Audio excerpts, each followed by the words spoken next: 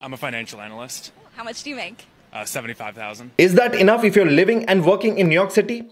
Let's break down the numbers. Majority of the financial analysts have bachelor's degree. It can cost you between $24,000 on a lower end to $75,000 at a higher end to get a 4 years bachelor's degree in finance. Let's just say he paid $50,000 for tuition to get his bachelor's degree. And let's also consider he took a student loan to fund 80% of his tuition, which comes around $40,000 in student debt. And at 4.99% interest rate for 20 years loan, the monthly payment on his student debt will be 260 $64. He did say he earned $75,000 working as a financial analyst in New York City. So after taxes, that would be $55,839 per year or $4,653 per month. On an average, it cost $4,208 to rent in Manhattan. Let's say he's sharing it with another roommate, so he will be paying around $2,100 in rent per month. Let's also add $600 for utilities, groceries, subscriptions, and other monthly expenses. And let's not forget his monthly student debt payment of $264. So his total monthly expense living in New York City comes to $2,964. With that, he will have $1,689 per month to save and invest living and working in New York City. Drop a like and follow for more.